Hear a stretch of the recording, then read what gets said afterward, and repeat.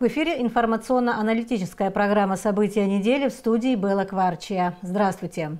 На этой неделе вопросы, находящиеся в плоскости социальной сферы, обсуждались на уровне правительства. Премьер-министр Александр Анкваб провел совещание по изучению ситуации с обеспечением жильем некоторых социальных групп граждан. Ранее премьер провел встречу, на которой обсуждалась деятельность Государственного внебюджетного фонда инвалидов Отечественной войны народа Абхазии. Как шла реализация двух государственных жилищных программ? Почему в этом году они приостановлены? Как сегодня разбираются в ситуации с выявленными нарушениями в работе Фонда инвалидов Отечественной войны народа Абхазии? Эти и некоторые другие вопросы мы обсудим с гостем в студии немного позже. А сейчас напомним о главных событиях уходящей недели. Программу продолжит моя коллега Ирина Аршба.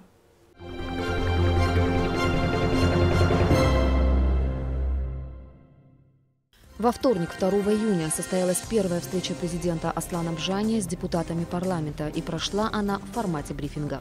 Первый вопрос, который депутаты задали президенту, касался курортного сезона, в частности, открытия российско-абхазской границы. Аслан Бжани отметил, что в Российской Федерации наблюдается послабление карантина, но точных прогнозов, когда именно откроют границы, пока нет. Действия абхазской стороны в этом вопросе будут скоординированы с российской стороной. Депутаты парламента также интересовались реализацией российской инвестпрограммы. В частности, речь шла о капитальном ремонте улиц в селах Будаутского района. Как подчеркнул президент, в рамках его рабочей поездки в Москву были достигнуты определенные договоренности, согласно которым в нынешнем году объемы инвестпрограммы сокращаться не будут. Аслан Бжани также отметил, что за последние годы ни разу не удалось выполнить объемы инвестпрограммы. Причины выясняются. Президент коснулся и темы перевоза товаров через Абхазо-грузинскую границу. По данным таможенного комитета и Минсельхоза, заготовка орехов фундука в год составляет 11-12 тысяч тонн. Максимум 10% от этого объема экспортируется в Россию, остальное в Грузию. Асламжани еще раз подчеркнул необходимость полного контроля госграниц и перемещения товаров.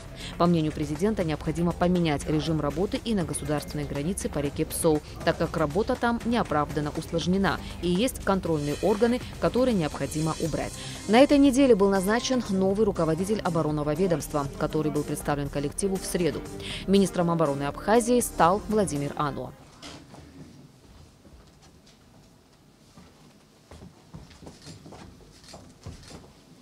Служу Республике Абхазии. Как многих из вас, именно война сделала профессиональным военным Владимира Анва, человека гражданской профессии. Вы его хорошо знаете. На протяжении всех послевоенных лет он занимает высокие командные должности в Министерстве обороны.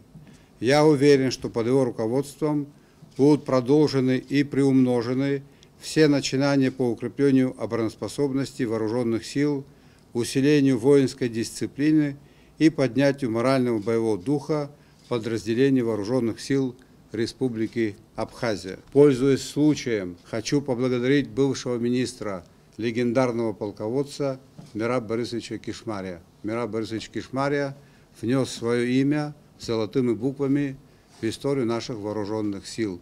Это факт. Я думаю, что мы и дальше, и впредь будем гордиться нашими вооруженными силами. Указом президента главным советником министра обороны назначен генерал армии Мираб Кишмари. Также указом главы государства за отвагу и самоотверженность, проявленные при исполнении воинского долга, Мираб Кишмари награжден орденом мужества. Депутаты Тухарчалского районного собрания рассмотрели письмо президента Аслана Бжани о согласовании кандидатуры Сидора Доча на должность главы администрации района. В результате открытого голосования кандидатура Исидора Доча была утверждена. Председателем Государственного комитета по стандартам потребительскому и техническому надзору назначен Галус Трапезанян. Нового главу комитета коллективу представил первый вице-премьер Беслан Джопуа. Беслан Джопуа выразил слова благодарности ранее возглавлявшему комитет Гарри Саманба, отметив слаженную работу коллектива, а также отметил заслуги Галуста Трапезаняна перед Отечеством. Галус Трапезанян, герой Абхазии, депутат парламента второго созыва, председатель армянской общины Абхазии. На этой неделе также был представлен коллективу новый исполняющий обязанности главы администрации нового фона Тимур Отурба. Еще одно новое назначение было сделано в конце рабочей недели. Министром культуры Республики Абхазия стал Гудиса Агарба пятницу глава государства встретился с представителями бизнес-сообщества страны, а также действующими и бывшими руководителями силовых ведомств республики. Аслан Бжаня в первую очередь выразил благодарность предпринимателям за помощь населению Абхазии в период пандемии. В ходе встречи состоялся обмен мнениями по широкому спектру вопросов. Президент подчеркнул, что государство приложит усилия, чтобы создать условия для развития бизнеса, а также его поддержки и защиты от преступности. Мы понимаем, насколько все мы страдаем от того, что у нас не работает закон. Каждый из вас знает, какие трудности связаны с тем, чтобы привлечь инвестора. Вы знаете, какие споры у нас происходят в сфере имущественных взаимоотношений. Эти вопросы не отрегулированы. Вот в этом плане, мне кажется, вы со мной согласитесь, нужна твердая государева рука. Мы в связи с этим вас просим оказать содействие. Вице-премьер, министр экономики Кристина Озган побывала с очередной рабочей поездкой в Гагарском районе и осмотрела шесть объектов, возводимых в рамках российской инвестпрограммы, работы на которых завершаются. Это Гагарская первая средняя школа, площадь возле колоннады, Пицунский детский сад, а также две канализационные насосные станции, на одной из которых ремонт уже завершен, а на другой, по словам начальника УКСа Тимура Агрба, завершится к концу июля. Кроме того, Кристина Озган осмотрела очистительное сооружение в селе Лахадзе, которое является одним из крупнейших крупнейших и дорогостоящих объектов инвестпрограммы в районе. У Кристины Озган к финансовой целесообразности этого проекта есть вопросы. Общая стоимость проекта, согласно тех документов, которые на сегодняшний день имеются, почти миллиард семьсот с лишним миллионов рублей. Я просто хочу привести пример, что мы э, в 2013-2014 году строили очистные сооружения для города Сухум э, в селе Шера. Э, объемом, мощностью, соответственно, 30 тысяч кубометров, они обошлись тогда в 606 миллионов рублей. Я не хочу сейчас, не хочу сейчас давать оценки относительно качества либо способа э, предлагаемого здесь. Я все-таки думаю, что имеет смысл нам э, послушать специалистов, которые дадут оценку целесообразности стоимости такого проекта именно с точки зрения его дороговизны. Первый вице-премьер Беслан Джопуа в четверг обсудил с руководителями государственной ветеринарной ветеринарной службы, инспекции по карантину растений и Комитета экологии проблемы в области защиты растений. В частности, речь шла о работе по борьбе с насекомыми вредителями. До конца текущего месяца будут проведены работы по химической обработке всех растений сельхозназначения. Но для обработки ореха нужны фунгициды, их сегодня в Абхазии нет. В рамках встречи также обсуждались вопросы пресечения бесконтрольного улова рыбы в реках Абхазии, открытия на государственных границах специальных лабораторий и организация диагностики туберкулеза и бруцеллеза у мелкого и крупного рогатого рогатого скота. По итогам совещания Сланджопу отметил, что со стороны государства будет оказана помощь и поддержка в проектах, нацеленных на развитие сельского хозяйства. После длительного перерыва 2 июня в среднеобразовательные учреждения республики на две недели вернулись ученики, но только учащиеся 11 классов. Их в республике более 1800. Занятия в средних образовательных учреждениях начинаются, как положено, в 9 часов утра, но длятся всего по 40 минут. Утром у входа в здание школы дежурит медсестра, которая измеряет учащимся температуру, следит, чтобы каждый входящий обрабатывал руки антисептическим средством, а в кабинетах была соблюдена социальная дистанция. Если количество учеников в одном классе превышает 10 10 человек, класс делят на группы. За каждой партой по одному человеку. Экзамены учащиеся 11 классов будут сдавать всего по двум предметам – родной язык и математика. Первый экзамен в средних образовательных учреждениях страны пройдет уже 17 июня.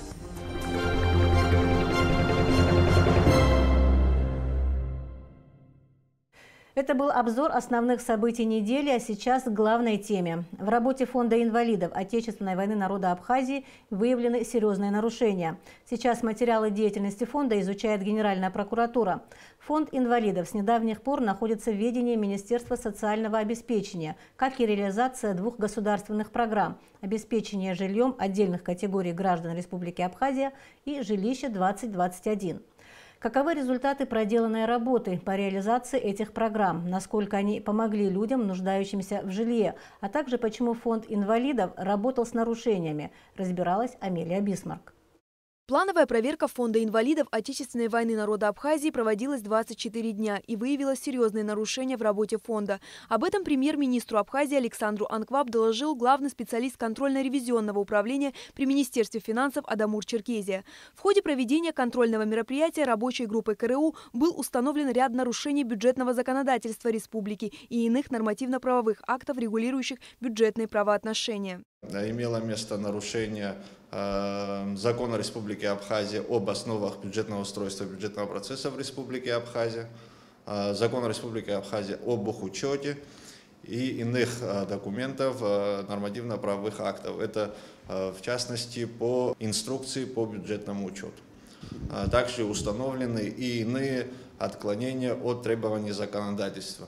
Допустим, в частности, соблюдение основных принципов бюджетной системы Республики Абхазия согласно требованиям законодательства, а это именно принцип адресности и целевой характер использования средств, а также принцип эффективности использования средств. Ознакомившись с актом, предоставленным КРУ, руководство Абхазии, согласно законодательству, приняло решение передать материалы проверки на рассмотрение в Генеральную прокуратуру. Из сообщения пресс-службы надзорного учреждения известно, что согласно выводам контрольно-ревизионного управления в Фонде инвалидов Отечественной войны народа Абхазии выявлены финансовые нарушения за 2019 год на сумму 33 миллиона 517 тысяч рублей. В настоящее время Управление за исполнением законодательства Республики Абхазия Генеральной прокуратуры проводит проверку данных выводов. Соответствующие запросы направлены в компетентные органы. Специалисты работают над сбором объяснений и осуществляют другие мероприятия. По результатам проверки будет принято законное решение, сказано в информации, которую предоставила Генеральная прокуратура. 29 мая премьер-министр Абхазии издал распоряжение. В нем сформулированы определенные указания ответственным ведомствам, направленные на устранение причин и условий выявленных нарушений. В Министерстве социального обеспечения и демографической политики Республики Абхазия создана рабочая группа, а, которая проводит оперативно значит, работу по инвентаризации нормативно-правовых актов и по представлению предложений. Работа проводится при взаимодействии с Министерством финансов, а, в частности, а, значит, э, в кратчайшие сроки, в срок до 12 числа будут представлены предложения для налаживания оперативной и максимальной эффективности, эффективной деятельности фонда инвалидов.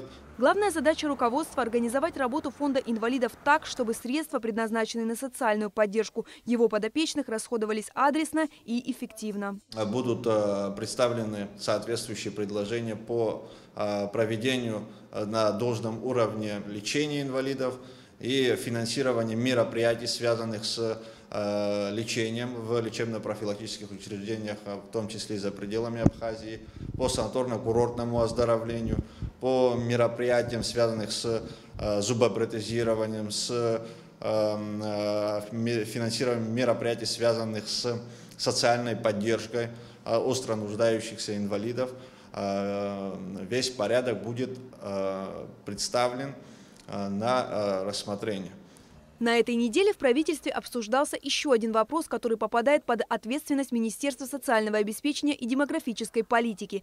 Александру Анква был представлен годовой отчет о реализации двух государственных программ по поддержке граждан, нуждающихся в жилье. В 2019 году э, у нас начали функционировать две государственные целевые программы. Первая программа – это обеспечение жильем отдельной категории граждан. Э, в эту программу попадают такие категории, как инвалиды первой группы, в том числе Отечественной войны народа Абхазии. Также семьи погибшие, э, четверо и более детей несовершеннолетних у кого. Э, за 2019 год по данной программе поступило 49 заявлений. Из них 8 заявлений это по категории инвалид первой группы, по категории семья погибших 11 заявлений, по категории значит, э, многодетные семьи 21 заявление. Из них э, рассмотрено комиссией было 20 заявлений. 12 заявлений э, о выделении финансовой помощи на приобретение жилья. 8 заявлений были отказаны при выделении финансовой помощи в связи с наличием жилья. Вторая государственная программа «Жилье-2021» подразумевает предоставление средств на приобретение жилья следующим категориям граждан. Инвалиды Отечественной войны народа Абхазии, семьи с тремя детьми, семьи, где есть ребенок-инвалид. Также по данной программе поддержка производится гражданам и в общем порядке. Согласно этой статье, подать заявку могут все люди, за которыми не числится жилплощадь на территории Абхазии. В рамках данной программы за 2019 год в ведомство поступило 318 заявлений. 42 из них были удовлетворены удовлетворены. По второй программе жилье 2021 освоено из выделенной 300 миллионов 27 миллионов 800 тысяч рублей. Так как не вся сумма, исходя из того, что трое участников программы, опять-таки за 2019 год, не успели приобрести жилье из выделенной суммы. В обоих программах прописан порядок выделения финансовой помощи. То есть на заявителя 500 тысяч – и на членов семьи несовершеннолетних и нетрудоспособных родителей по 100 тысяч. То есть это зависит от состава семьи. По первой программе обеспечения жильем отдельных категорий граждан средства на приобретение жилья предоставляются безвозмездно. Программа «Жилье-2021» подразумевает определенные условия, согласно которым заявитель должен выплатить государству часть предоставленных ему ранее средств. По программе «Жилье-2021» частично сумма должна быть возвращена доход государства, бюджет республиканский. То есть э, при выделении э, после решения комиссии определенной суммы на приобретение жилья э, часть суммы подлежит возврату по соглашению участника программы и ответственного органа. В соглашении сумма также должна быть прописана ежемесячного платежа, который не должен превышать прожиточный минимум на сегодняшний день, который действует в Абхазии. Подобные выплаты рассчитываются от общей суммы предоставленных средств и составляют от 3 до 7 тысяч рублей в месяц. Стоит отметить, что понятие «проценты» здесь не имеет места. И если гражданин производит выплаты добросовестно, ему полагаются своеобразные скидки ближе к концу периода выплат. При заключении соглашения мы им объясняем условия программы, то есть какую сумму не должен превышать ежемесячный платеж. После чего мы заключаем договор и участник может изъявить желание определенную сумму, не превышающую, по согласованию, естественно, с ответственным органом. В конце марта в связи с пандемией коронавируса комиссия приняла решение приостановить реализацию данных программ и не принимать заявления на получение средств в их рамках до снятия ограничительных мер в республике. Согласно последнему решению руководства страны, обе программы приостановлены на неопределенный срок в связи с нехваткой финансовых средств. Амелия Бисмарк, Томас Чековани для событий недели. Почему реализация двух государственных жилищных программ «Обеспечение жильем отдельных категорий граждан Республики Абхазия» и «Жилище-2021» в этом году приостановлены? О чем говорит изучение ситуации в Государственном внебюджетном фонде инвалидов Отечественной войны народа Абхазии? А также существуют ли проекты в направлении демографической политики и социальной поддержки граждан. Об этом мы побеседуем с гостем студии, министром социального обеспечения и демографической политики Абхазии Русланом Ачба. Здравствуйте, Руслан Таифович. Добрый день. Две государственные жилищные программы, они заложены в бюджет, это 40 миллионов рублей, но в этом году э, программа, реализация этих программ приостановлена. В связи с чем Почему так произошло? Самыми приоритетными выплатами для бюджета считается заработная плата, пенсии, пособия. Mm-hmm. Вот, и, и э, в связи с тяжелым финансовым э, положением, да, и с, и с экономической угрозой, которая сложилась, было принято комиссией решение приостановить работу по этим двум программам. А вообще, можно ли так э, распоряжаться бюджетными средствами? Это не то, что распоряжаться бюджетными средствами, они предусмотрены, но их нет фактически. Средств не хватает в бюджете, в связи с чем сокращаются некоторые расходы. А как вы оцениваете, насколько эффективны были эти программы и есть ли шансы на то, что эти программы будут и в дальнейшем реализовываться? А, насчет эффективности, конечно, эти программы предназначены для наиболее уязвимых слоев населения, для тех, которые не обладали и не обладают жилплощадью на территории Абхазии и нуждаются вот в жиле. А, это и инвалиды, и Э, многодетные семьи и другие категории граждан. Э, э, в 2019 году в ходе реализации было принято решение 54 положительных решений о предоставлении финансовой помощи заявителям. То есть 54 граждан как минимум получили ключи от новой жилплощади. Новая имеется в виду, это из старого фонда, но для них новая жилплощадь. Вот, и это, конечно, хорошо. А другой вопрос, конечно, в ходе реализации какие-то, возможно, недостатки мы а, выявили а, дальше мы будем, конечно, дорабатывать, прорабатывать и совершенствовать эти программы. И я думаю, что если даже не получилось у нас в 2020 году реализовать эти программы, то в 2021 году мы продолжим и э, в 2022 тоже, наверное, так, как э, сдвинется сроки реализации. А какие были шероховатости в этих программах? Вы сказали, что будете устранять какие-то проблемы в реализации этих программ. А чего они касаются? У нас в стране очень много граждан, которые нуждаются в приобретении жилья. Основная цель э, при Э, разработки и утверждения этих программ было определить э, круг лиц, которые будут получать, это наиболее уязвимые да, категории граждан. Э, однако получилось так, что к нам начали обращаться уже все, которые нуждаются. То есть их очень много, и такими программами обеспечить всех жильем у нас не получится. Э, э, это отдельная категория должна быть, да. И вот э, мы, наверное, откорректируем, вот именно определим круг лиц, которые вот наиболее нуждаются и Э, будут получать помощь именно по этим программам.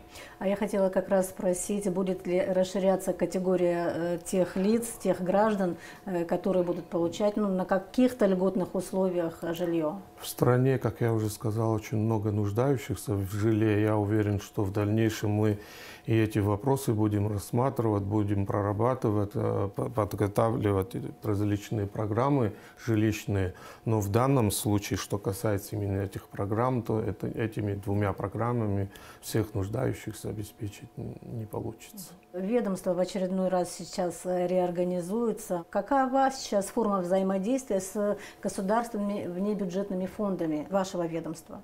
Ну, в соответствии с указом президента о структуре Кабинета министров э, началась реорганизация нашего министерства. Наше министерство теперь уже называется Министерство социального обеспечения и демографической политики.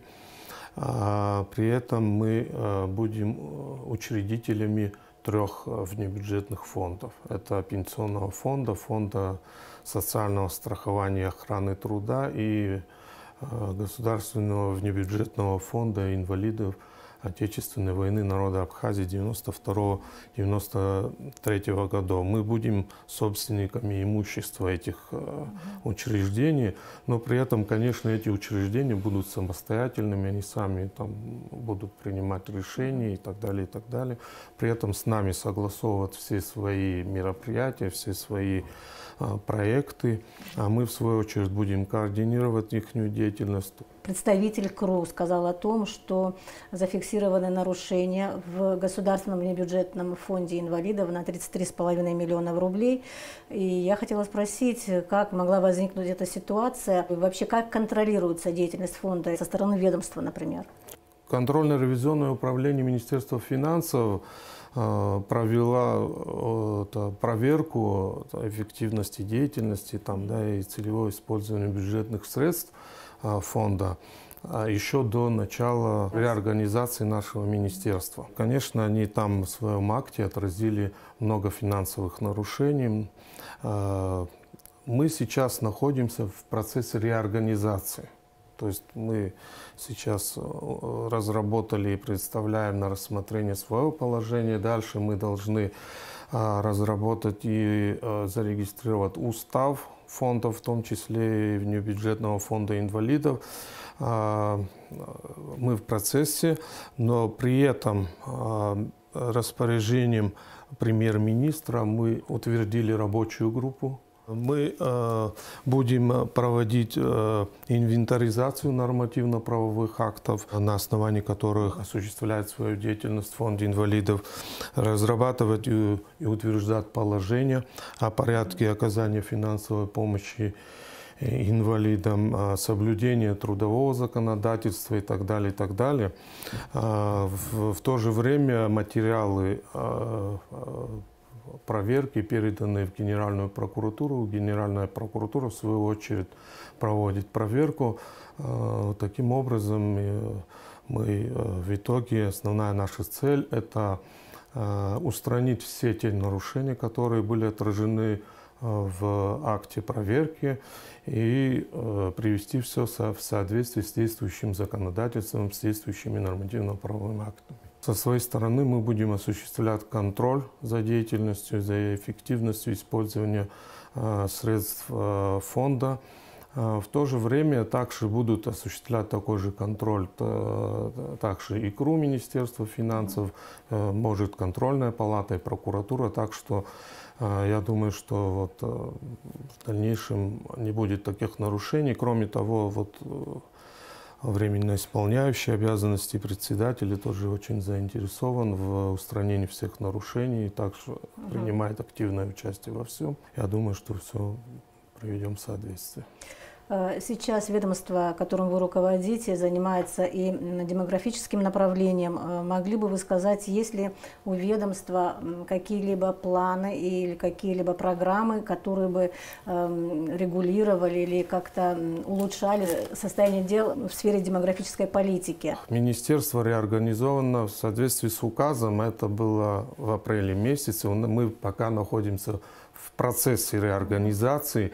А мы только вот э, вступаем в свои права. А что хочется в этом направлении отметить? Необходимо э, разработать и принять закон о государственной демографической политике. Еще в прошлом году по инициативе Комитета по социальной политике парламента а, была создана рабочая группа и а, разработали проект закона о государственной демографической политике. Такой проект существует.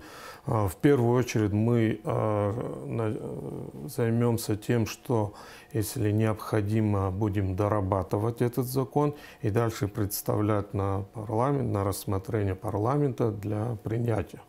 Вот.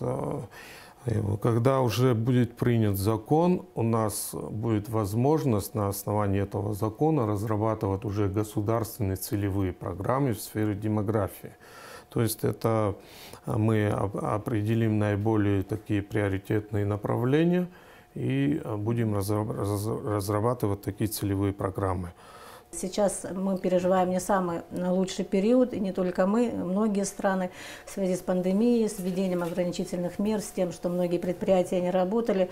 И вот э, как вот эта ситуация в данный момент может повлиять и влияет ли на социальные выплаты нашим гражданам?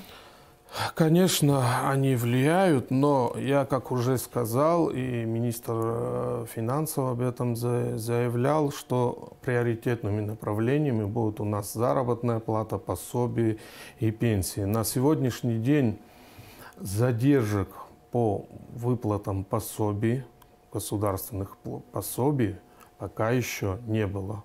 И э, думаю, что не будет.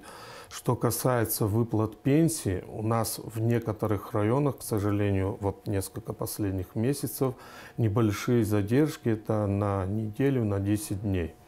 Вот. Э, могу сказать, что вот на сегодняшний день, даже вот за май месяц у нас не выплачены в двух районах. А остальные районы уже получили. Это э, единственная задолженность, можно сказать, на сегодняшний день, которая имеется по выплатам пенсии и пособий.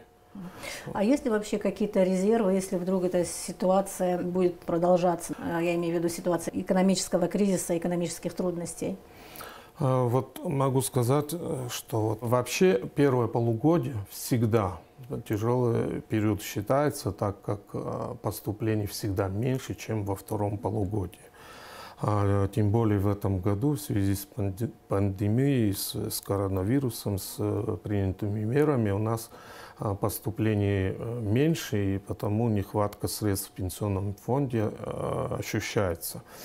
Однако э, надежда на, конечно, республиканский бюджет на государственный бюджет, и республиканский бюджет оказывает всяческую поддержку, помощь пенсионному фонду в реализации своих поставленных целей. Законодательство в сфере социального, социальной защиты какое-то есть, кроме того, что вы говорили о демографической политике?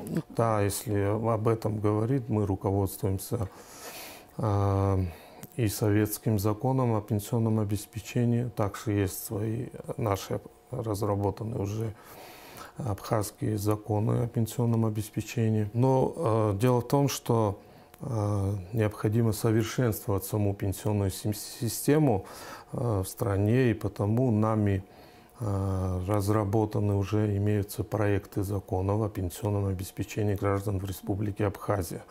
Э, это четыре законопроекта, они идут в комплексе, и мы их представляли уже один раз э, в кабинет министров, э, нам вернули на доработку. А в дальнейшем мы также будем дорабатывать и представлять. И я надеюсь, что в ближайшие годы мы сможем принять эти законы. Они а очень важны для нашей страны. В чем там суть э, в этих законах новых? Ну, сегодня, как мы знаем, у нас э, фиксированные размеры пенсии, и денежные средства распределяются, можно сказать, несправедливо, так как э, э, разные граждане в свое время работали, у каждого свой стаж работы, у каждого свои страх, выплаты страховых взносов и так далее, и так далее, но при этом размер пенсии у всех одинаковый на сегодняшний день. Наше новое законодательство предусматривает введение персонифицированного учета, то есть это учет э, каждого работника, э, размер заработной платы, э, размер уплаченных страховых взносов. И в зависимости от этого уже в будущем будет устанавливаться размер пенсии. А, то есть справедливо будут распределяться средства. Кроме того, у нас сегодня много разных законов, разных нормативных актов э, в сфере пенсионного обеспечения.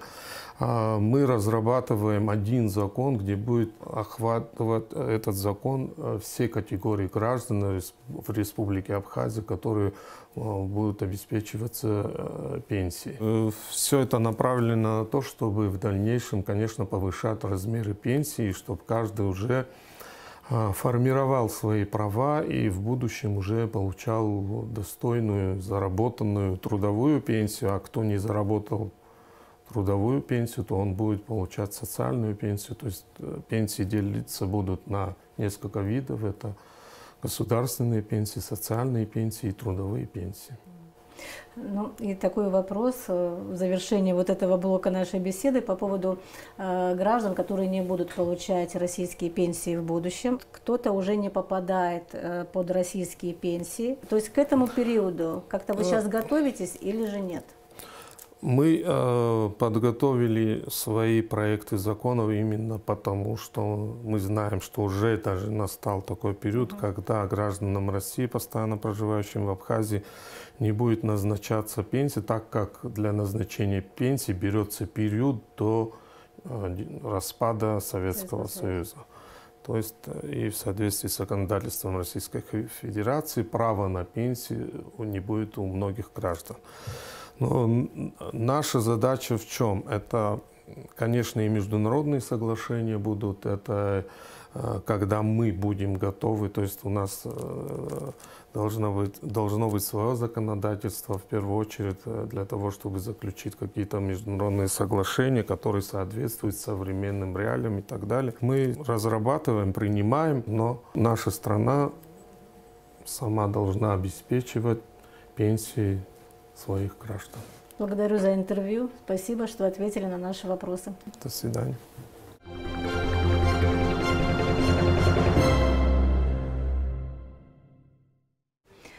Напомню, что в нашей студии был министр социального обеспечения и демографической политики Абхазии Руслан Аджба, который рассказал, почему приостановлены две государственные жилищные программы, а также о том, как идет изучение ситуации в Государственном внебюджетном фонде инвалидов Отечественной войны народа Абхазии. Продолжаем эфир. 6 июня в Абхазии, как и во многих странах, отмечают день рождения гения русской литературы Александра Сергеевича Пушкина. Чтение стихов великого поэта стало доброй традицией. Вот уже 9 лет ежегодно под сенью многовековой липы в ботаническом саду Сухума почитатели творчества Пушкина проводят творческую встречу. В этом году из ограничений, связанных с угрозой распространения коронавирусной инфекции, мероприятия прошли в другом формате. Репортаж на Алыкове. Пушкинские чтения в Сухуме впервые прошли в 2012 году по предложению народного поэта Абхазии, президента Ассоциации писателей Абхазии, награжденного, кстати, российской медалью Пушкина Мушнила Сурья. Тогда, после возложения цветов к памятнику великого русского поэта, участники торжества прошли в Сухумский ботанический сад, где на полянке, расположившись на стульях в тени огромной старой липы, слушали выступления абхазских и русских поэтов, юных чтецов и певцов. Символично, что мероприятие проводится в Сухумском ботаническом саду, ведь, как известно, он был основан другом Пушкина Николаем Раевским в 1840 году. В этом году представительство Россотрудничества совместно с Русским культурным центром и Ассоциацией писателей объявило конкурс видеороликов, в котором могут принять участие все желающие без возрастных ограничений. Сегодня мы э, видим, насколько дети откликнулись на этот призыв. Присылают ролики, мы видим их, мы слушаем их, мы радуемся за наших детей, которые любят Пушкина, которые читают Пушкина, которые стараются постичь те произведения даже Пушкина, которые не входят в программу школьную программу. Все желающие, кто независимо от возраста, кто хочет принять участие в данном конкурсе, э, должны э, снять небольшой видеоролик, на котором Э, участник читает один из стихов Александра Сергеевича Пушкина и прислать его нам. Мы, в свою очередь, э, публикуем эти видеоролики на своих официальных страницах в Фейсбуке, в Инстаграме. Также э, хотелось бы отметить, что в этом году читаем Пушкина на разных языках. Мы проводим совместно с Русским культурным центром и с Ассоциацией э, писателей Республики Абхазия. Участие в конкурсе будет поощряться. Итоги будут подведены ко Дню России 12 июня. По словам Натальи Каюн, заявок на участие в конкурсе поступило немало. Стоит отметить и то, что дети подошли к мероприятию с большим энтузиазмом. Ощущаешь, с какой любовью, теплом он отзывается о своей родине. Мне он очень близок, потому что я тоже очень люблю свою родину, Абхазию. Я думаю, меня ждет еще много много открытий на пути знакомства с творчеством Александра Сергеевича Пушкина. Каждый год в пушкинских чтениях принимают участие известные пушкинисты из Москвы и Петербурга, русские поэты-переводчики, работники пушкинских музеев, мастеров художественного чтения. Все они не только отдают дань памяти неподражаемому творчеству великого русского поэта, но и прививают молодежи любовь к литературе. На Алакове, на Лагухава, Абхазское телевидение. На этом наша программа подошла к концу. Я желаю вам всего доброго и до встречи на следующей неделе.